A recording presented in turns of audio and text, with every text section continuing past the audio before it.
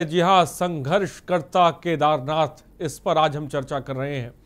और आज हम प्रतिक्रिया भी ले रहे हैं और सवाल भी पूछ रहे हैं, क्योंकि मामला इस समय केदारनाथ धाम से जुड़ा हुआ है। और कुछ और भी गेस्ट हमारे साथ जुड़ रहे हैं, उनसे आपका तारुफ इस वक्त हम कराने जा रहे हैं। लखपत बुटोला कांग्रेस नेता इस वक्त हमारे साथ जुड़ गए लखपत साहब, आपका बहुत बहुत स्वागत है। नवीन प्रशाली आप नेता इस वक्त हमारे साथ हैं। नवीन प्रशाली जी आपका बहुत बहुत स्वागत है। संतोष त्रिवेदी केदारनाथ धाम तीर्थ पुरोहित हैं वो भी इस वक्त हमारे साथ जुड़ गए हैं। संतोष जी बहुत बहुत आपका स्वागत है और मैं चाहूँगा थोड़ी देर पहले विपिन कैंथोला साहब जो कि बीजेपी प्रवक्ता इस वक्त हमारे साथ हैं उनसे हमारी बात हुई। मैंने उनसे सवाल किया कि भाई कोई सरकार का नुमाइंदा अब तक पहुँचा केदारनाथ धाम में आ, देखने के लिए ज़मीनी हकीकत जानने के लिए क्योंकि तीर पुरोहित समाज की तरफ़ से तमाम तरह की बातें लगातार आती रही हैं। मैं चाहूँगा कि सरकार के प्रवक्ता भी इस वक्त हमारे साथ हैं। संतोष जी, देश भी आपको सुन रहा है। केदारनाथ धाम, जिसमें हम कह रहे हैं कि संघर्ष में इस वक्त चल रहा है, वहाँ पर पुनर्निर्माण कार्यों कामों को लेकर तमाम तरह की आवाज़ बुलंद की जा रही हैं। क्या दिक्कतें पेश आ रही हैं? क्या समस्या वहाँ पर है? इसके बारे में चाहूँगा कि संतोष जी बताएँ।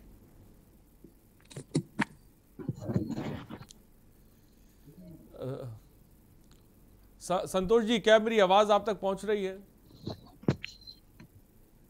जी जी ओम जी संतोष जी क्या कहेंगे? केदारनाथ में चल रहे कामों को लेकर प्रधानमंत्री के डीम प्रोजेक्ट को लेकर तीरपुर समाज सवाल उठा रहा है। क्या सवाल आपके हैं? क्या समस्या है बताएँ।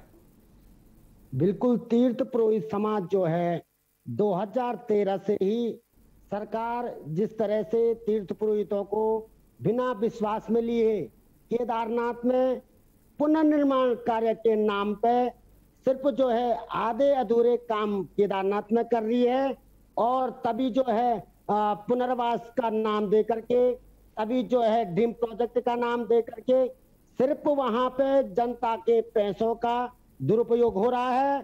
लाखों करोड़ों नहीं, अरबों रुपए का जनता का दुरुपयोग हो रहा है।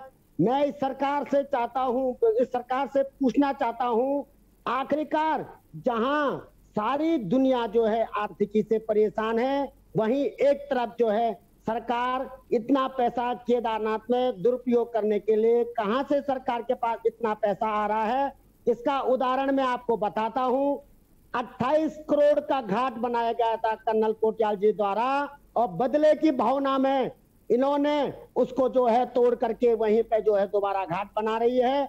अभी शंकराचार्य बना रहा बना, सरकार जो है पुनर्निर्माण कार्य में बना रही है। ड्रीम प्रोजेक्ट के अंतर्गत जो शंकराचार्य समाधि जो सरकार बना रही है उसमें जो है कि एक इन्होंने टंडल बनाया कम से कम 20 फुट ऊँचा और पचास मीटर जो है लंबा वो टंडल है।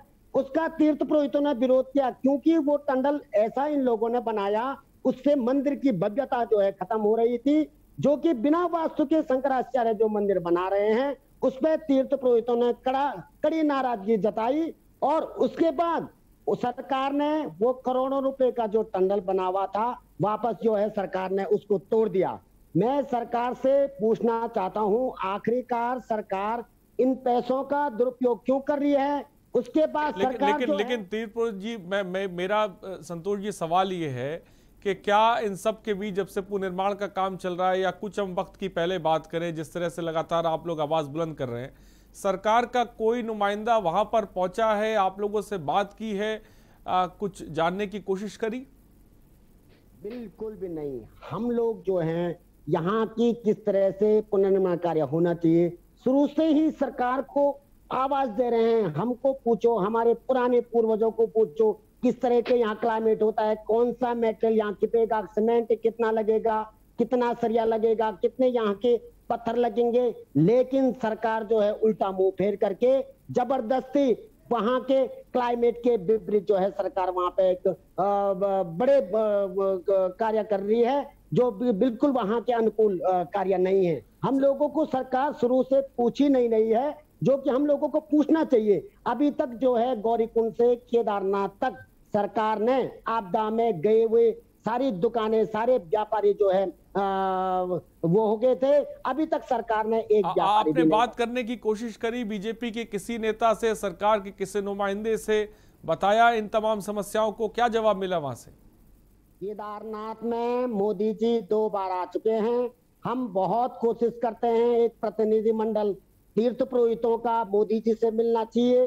चाहे वहाँ पे डीएम साहब आए चाहे कहीं बार मुख्यमंत्री जितने भी उत्तराखंड में तीन मुख्यमंत्री हैं, सारे केदारनाथ आ चुके हैं, लेकिन हमारी बात किसी से बिल्कुल भी वो होने नहीं देते हैं। कहीं कोशिश है कि हमने, कि कम से कम देहरादून हम नहीं जाते हैं, दूर पड़ता है, लेकिन केदारनाथ में जब मुख्यमंत्री आए, प्रधानमंत्री आए, कोई वरिष्ठ नेता आए, और केदारनाथ पुनर्निर्माण कार्य से संबंधित कोई भी अधिकारी नेता केदारनाथ पे जब भी आता है, हम उनसे मिलने की कोशिश करते हैं। लेकिन वो तीर्थ पुरोहितों से बिल्कुल मुँह फेरते हैं। क्यों? क्योंकि वहाँ पे पुनर्निर्माण कार्य की जो दशा और दिशा है वो बिल्कुल भी ठीक नहीं है।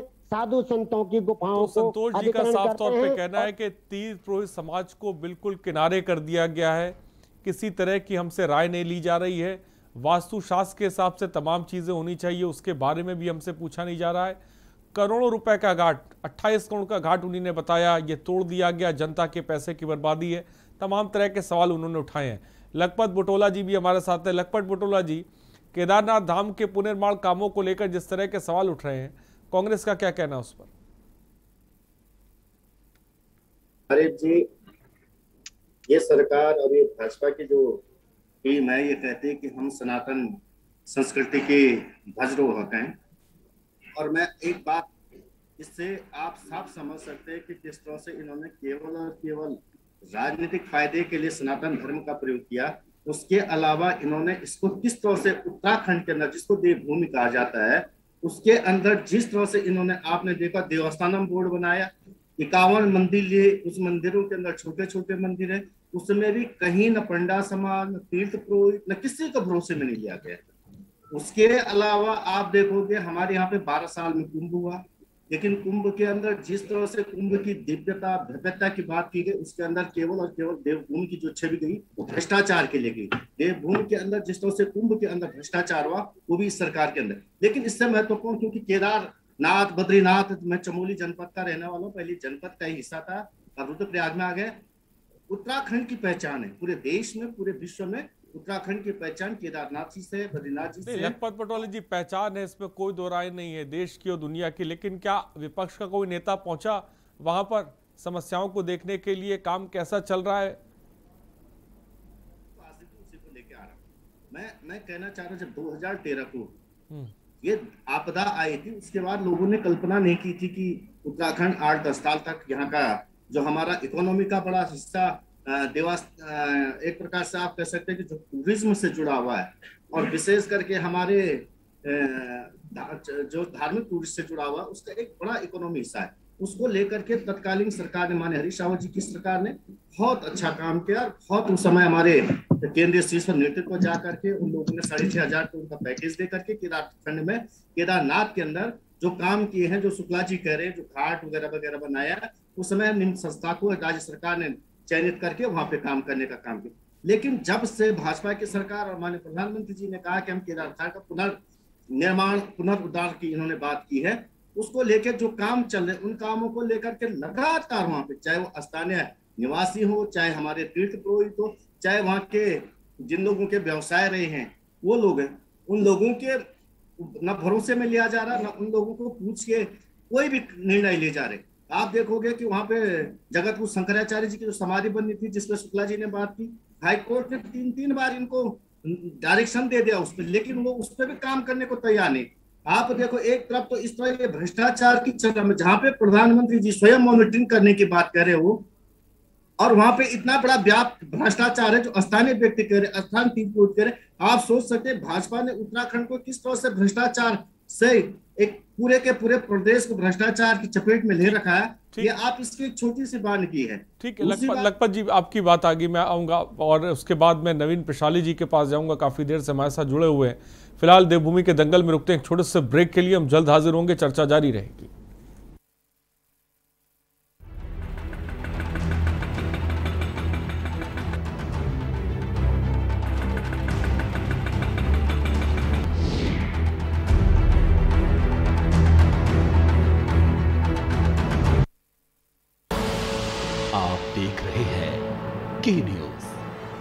का सारथी। पर ये दिल है कि चख रहा है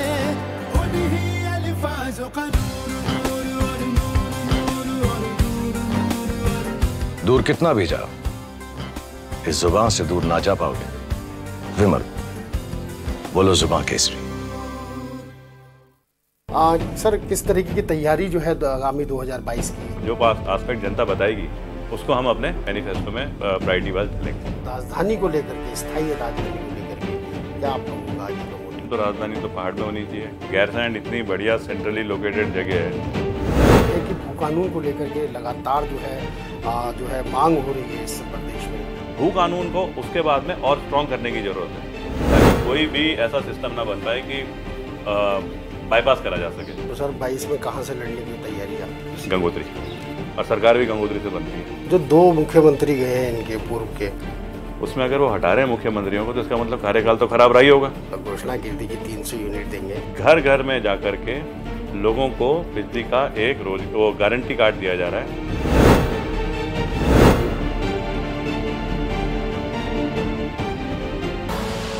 आप देख रहे हैं के न्यूज़ खबरों का सारथी।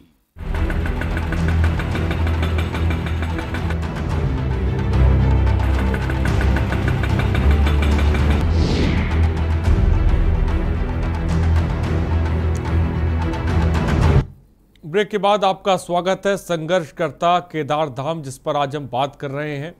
और तीर पुरोहित समाज का भी दर्द हम सुन रहे हैं, उसको आपके सामने भी रख रहे हैं। फ़िलहाल सीधे रुख करते हैं। हमारे साथ नवीन प्रशाली जी, आप नेता इस वक्त हमारे साथ हैं। नवीन प्रशाली, आप क्या कहेंगे पुनर्निर्माण कार्यों को लेकर? जो तीर्थ पुरोहित समाज है, जो मुखर हुआ है, जो सवाल उठा रहा है, उसको लेकर आपकी क्या प्रतिक्रिया है? देखिए, जो विश्व भर के करोड़ों हिंदू की आस्था का केंद्र हमारा बाबा केदारनाथ धाम जो है, वहाँ पर जो हमारे पंडा पुरोहित समाज ने जो आपत्ति दर्ज की है इस घटिया निर्माण पर, वो बिल्कुल भी, बिल्कुल जायज़ है और हम उसका समर्थन करते हैं क्योंकि जो उनकी आवाज़ है, जो उनकी मांग है, उनकी मॉनिटरिंग जायज़ है क्योंकि वहाँ पर आप देख रहे हैं कि एक तरफ़ तो राज्य सरकार कहती है कि प्रधानमंत्री जी का ड्रीम प्रोजेक्ट है और दूसरी तरफ़ उस घटिया निर्माण में जनता के धन को बर्बाद किया जा रहा है। तो जो बंदर बांट हो रही है और इसमें ये भी आया अभी स्वामी जी ने बताया कि 28 करोड़ के घाट को सिर्फ़ इसलिए तोड़ दिया गया कि कर्नल कोठियाल का नाम उससे जुड़ा था जब वो निम्न संस्था के द्वारा वो पुनर्निर्माण में शामिल हुए थे।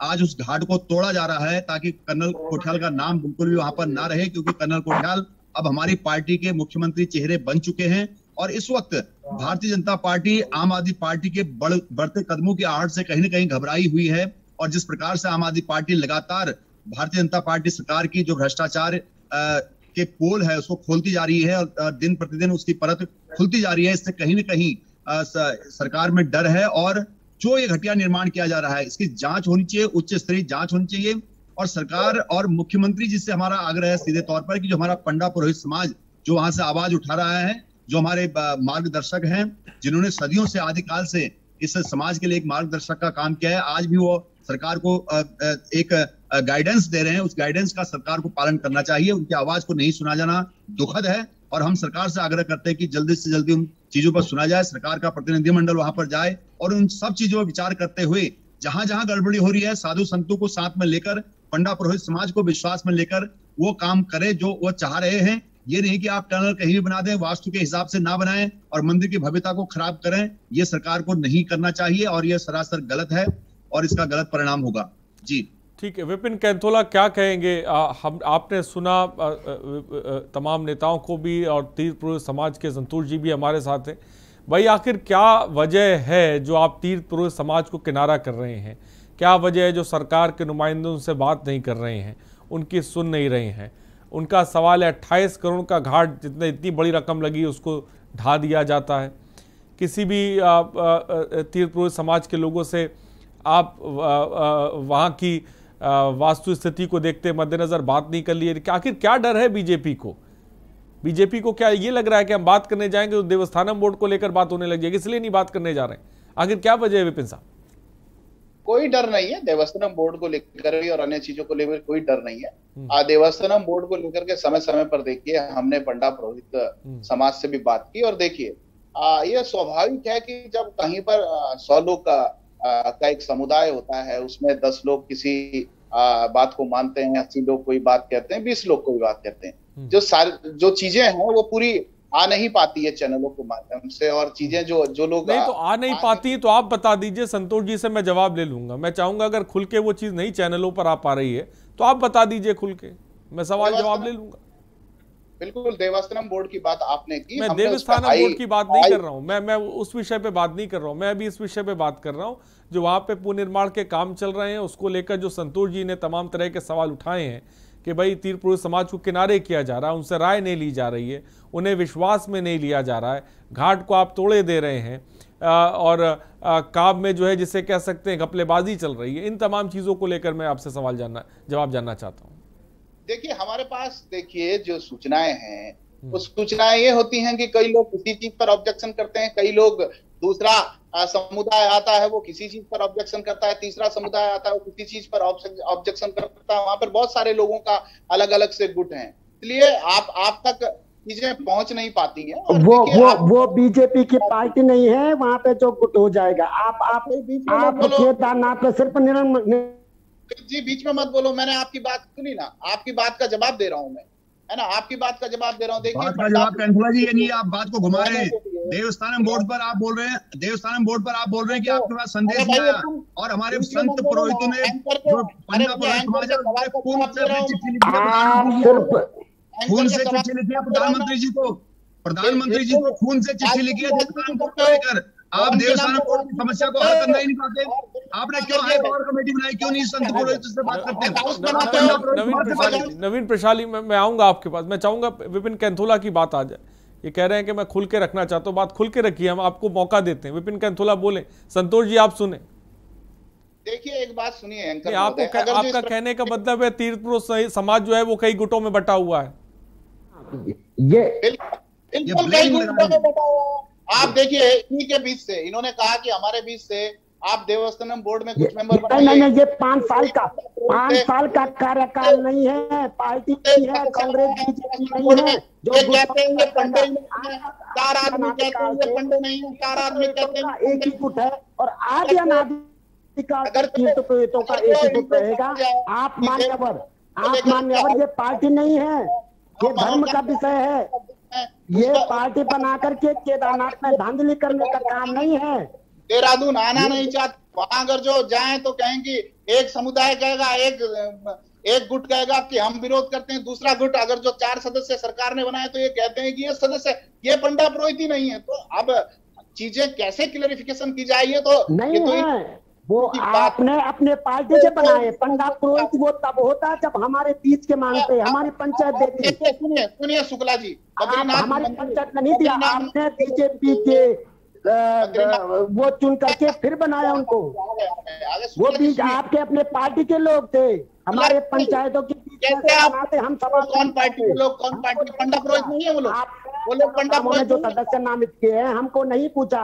आपने जो बीजेपी के लिए काम करता है उसका उसको बनाया आपने। हम उठाएँगे सवाल। ऐसा नहीं कहा वो पंडा पुरोहित नहीं है उनके उनका पंडा पुरोहित पंडा पुरोहित और केदारनाथ के जो हक हकूकधारी वो नहीं है वो लोग। बोल दीजिए। आप बोल दीजिए कि वो लोग नहीं है। उन उन उन लोगों के परिवार जो है इस आप लोगों से संबंधित नहीं है। हक हकूकधारी है ऐसे किसी ने नहीं कहा हक हकूकधारी नहीं है। लेकिन लेकिन आप भी वो बीजेपी के हैं। हमको पूछा नहीं। हमारी पंचायत नहीं हमारी पंचायत को नहीं पूछा कि किसी पंचायत का कोई आदमी प्रधान बनाते हैं तो उनको पूछा जाता है आप अपना आदमी दो। आपने चोर चोरी से बनाया रात की चोरी से बनाया आपने वो पीठ पीछे बनाया हमको पता ही नहीं चला। कौन आपका सदस्य है? हो सकता है वो सदस्य उस लायक नहीं हो। आपने कैसे बना दिया? हमको पूछा।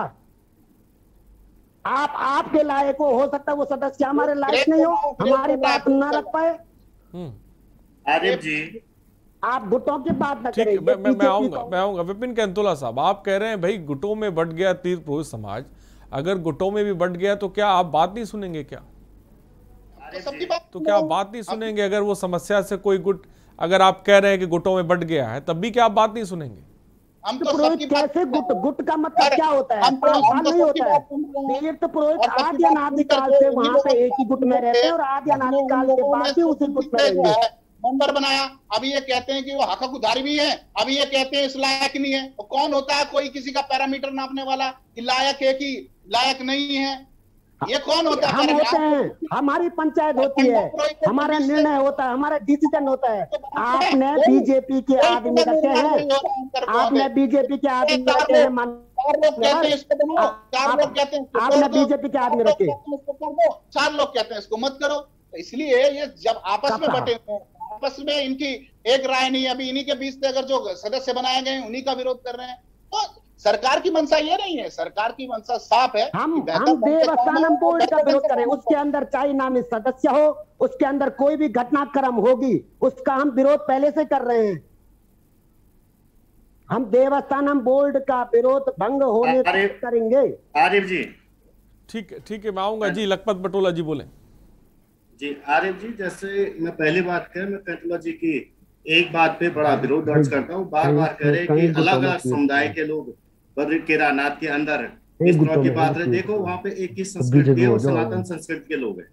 ये आपको समझना पड़ेगा और ये जिस तरह से ध्रुवीकरण की राजनीति से देश को बांटने की राजनीति जो ये देश के अंदर कर रहे हैं उसी को लेकर ये केदारनाथ के अंदर भी जिस तरह से भिन्न भिन्न समुदाय कौन से समुदाय के लोग हैं वहाँ पर?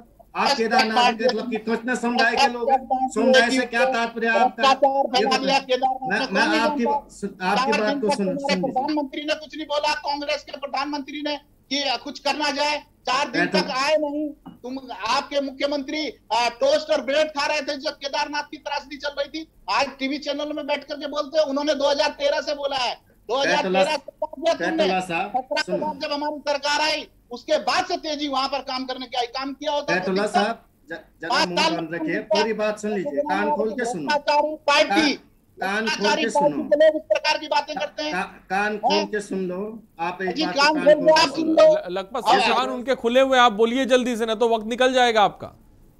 सबको पता है मुआवजों की बंदरबाट की कांग्रेस ने। कौन नहीं जानता है प्रदेश एक दूसरे में ब्लेम लगाने के बाद बाद में करना पहले ये बताओ कि देवस्थानम बोर्ड का भंग होगा। मुद्दे पर आओ। आपस में बात बात कर लेना। आसिफ जी आसिफ जी। हेलो। जो स्वामी जी कह रहे हैं उस पर जवाब दो। आसिफ जी हेलो। कौन रखे आपने वहाँ पर? हेलो। अंबानी को क्यों रखा उधर? सब जवाब दो ना आप क्यों कर रहे बात? आप इधर उधर की बात कर रहे हो जो असली मुद्दे पर उस पर नहीं आ रहे आपने घाट को तोड़ा अट्ठाईस करोड़ का उसका जवाब दीजिए। तो सरकार के सरकार के पास पैसा नहीं? है। सरकार घाटों को तोड़? कभी कभी का स्वर्गवासी। माफ़ी मांगो स्वामी जी से स्वामी जी से जवाब कर रहे हैं उत्तराखंड के लोग जवाब दे रहे हैं। हैं। हैं। पंचायत है नकार हैं। है इस पंचायत को। बोर्ड पर पंडित पुरोहित समाज अपने खून से चिट्ठी लिख चुका प्रधानमंत्री को और संदेश भी पहुँचा तक लोग ठीक ठीक है नवीन प्रशाली ठीक है नवीन प्रशाली विपिन कैंथोला मैं आऊँगा मैं आऊँगा लखपत बटोला साहब मैं आऊँगा क्योंकि ये तीन पुरोहितों से जुड़ा हुआ मसला है तो मैं चाहूँगा कि उनकी भी बात सुनी जाए। आ, हमारे साथ संतोष जी भी है। मैं आऊँगा मैं आऊँगा। विपिन कैंथोला ऐसे नहीं बात होगी। रुकिए। संतोष त्रिवेदी जी मेरी अगर आवाज़ आप तक पहुँच रही है भाई सरकार के नुमाइंदे जुड़े हुए हैं। उनका कहना है कि भाई तीर पुरुष समाज ही इतने गुटों में बट गया है। किसकी बात सुनी जाए? कि आप लोग गुटों में बटे हुए हैं? क्या जवाब देंगे इस सवाल का? पार्टी के भ्रष्ट लोग हो तुम हाँ, क्यों इस्तीफा धन सिंह से देखा है क्यों इस्तीफा रहे हो पैसा दे दिया हो धन सिंह से दिल्ली सरकार ने हैं पंडित पुरोहित ठीक है स्वामी जी की बात सुन ले। विपिन क्या नाम है? नवीन प्रशाली मैं आऊँगा आपके पास। विपिन कैंतोला मैं आऊँगा आपके पास। संतोष जी बोले। आसिफ जी संत, मैं आऊँगा मैं आऊँगा लखपत जी। संतोष जी की पहले बात बात सुनो। मैं मैं आऊँगा। मैं आऊँगा जल्दी मैं आऊँगा अभी आपके पास। मुझे मैंने मैं जल्दी से आपके पास आऊँगा। संतोष जी कुछ कहना चाहते हैं। संतोष जी बोले। हाँ संतोष जी बोले, मेरी आवाज़ अगर आप तक पहुँच रही हो, जल्दी से। संतोष त्रिवेदी जी, क्या मुझे सुन पा रहे हैं आप?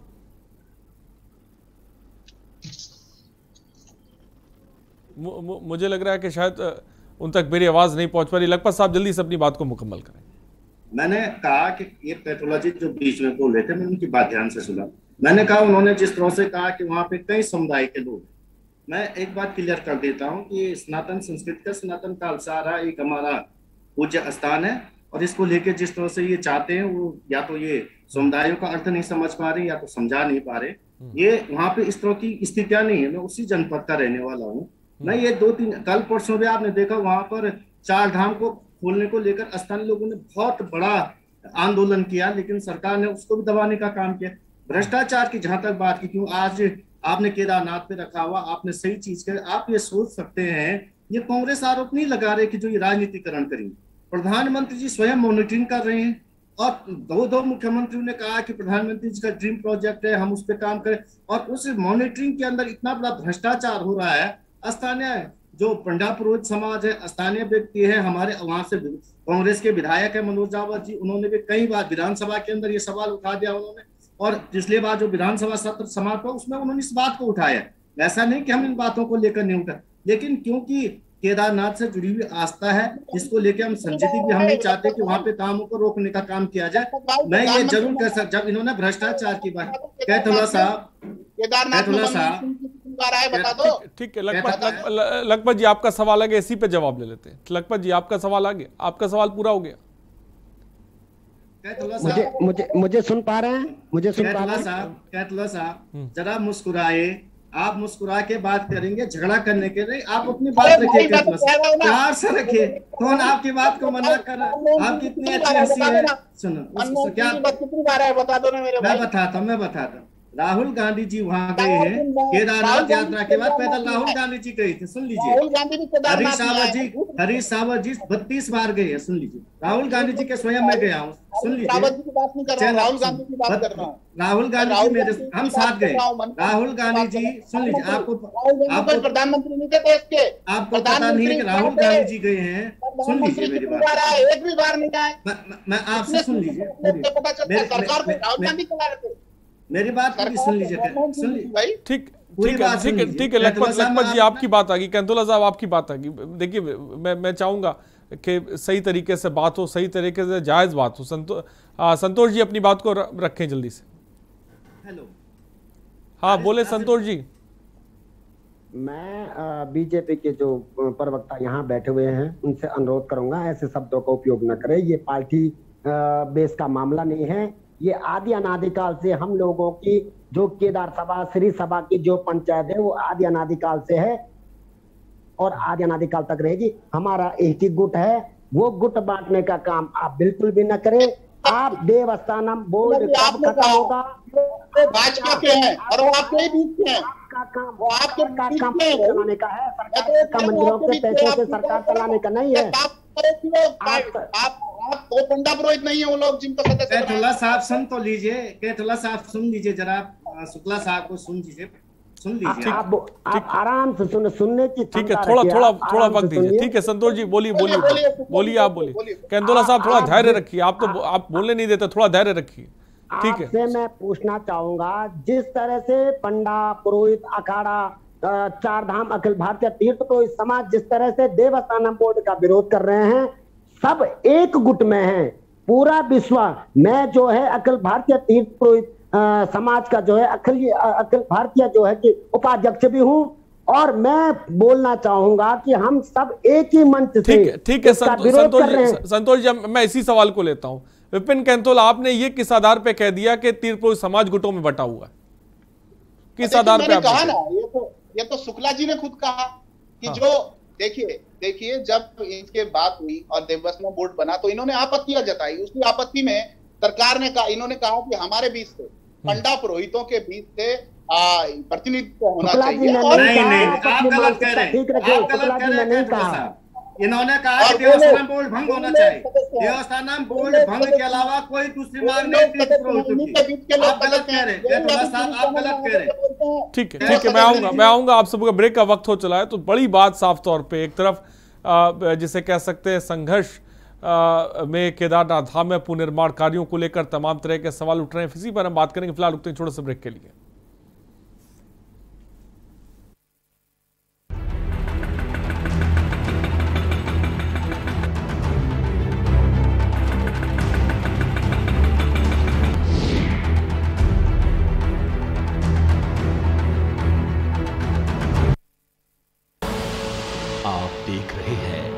के न्यूज़ खबरों का सारथी। दस सितंबर को गणेश चतुर्थी है। इस दिन भगवान श्री गणेश हमारे घर पधारते हैं। इस साल हम सभी दिल्ली वासी मिलकर एक साथ गणेश चतुर्थी मनाएँगे। गणेश चतुर्थी के शुभ अवसर पर शाम सात बजे से दिल्ली सरकार पूजन और आरती का भव्य आयोजन कर रही है। भगवान श्री गणेश जी के पूजन कार्यक्रम में अपने सभी मंत्रियों के साथ माननीय मुख्यमंत्री अरविंद केजरीवाल जी भी शामिल होंगे। पूजन कार्यक्रम का टीवी चैनल्स पर भी लाइव टेलीकास्ट होगा, ताकि आप सभी अपने परिवार के साथ इस पूजन का हिस्सा बन सकें। इस बार हम सब मिलकर भगवान श्री गणेश जी की पूजा अर्चना करेंगे। विघ्नहर्ता भगवान गणपति, हम सभी को अपना आशीर्वाद देंगे। और सबकी मनोकामनाएँ पूरी करेंगे।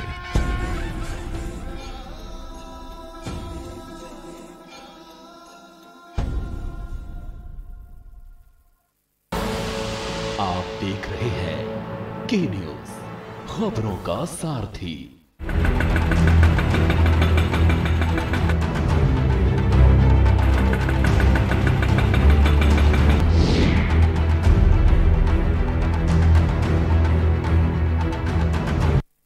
जी हाँ संघर्षकर्ता केदारनाथ, जिस पर हम बात कर रहे हैं, देवभूमि का दंगल में और सीधे रुख करते हैं, सीधे संतोष त्रिवेदी जी की तरफ़। संतोष जी, वक्त की थोड़ी सी कमी, मैं चाहूँगा कि जल्दी से आपकी बात आ जाए मेरा सवाल का जवाब दीजिए। कि जिस तरह से तीर्थ पुरुष समाज पुनर्निर्माण के कामों को लेकर सवाल उठा रहा है, मैं चाहूँगा कि आप लोगों की क्या मांगे, और वो मांगे अगर सरकार नहीं मानती हैं, उन समस्याओं को अगर नहीं सुनती है तो अब अगला कदम आपका क्या होने वाला है? देखो, ये आज नई बात नहीं है। हम सरकार को 2013 के बाद से केदारनाथ के पुनर्निर्माण कार्य के संबंध में बार बार अवगत करा रहे हैं कि यहाँ के अनुकूल, सारे काम यहाँ केदारनाथ के अनुकूल होना चाहिए। सारे पहले जो है वहाँ के जो 2013 के आपदा में लोगों के भवन, लोगों के धर्मशालाएँ जो वास आउट हुई है, उन लोगों को पहले बसाओ।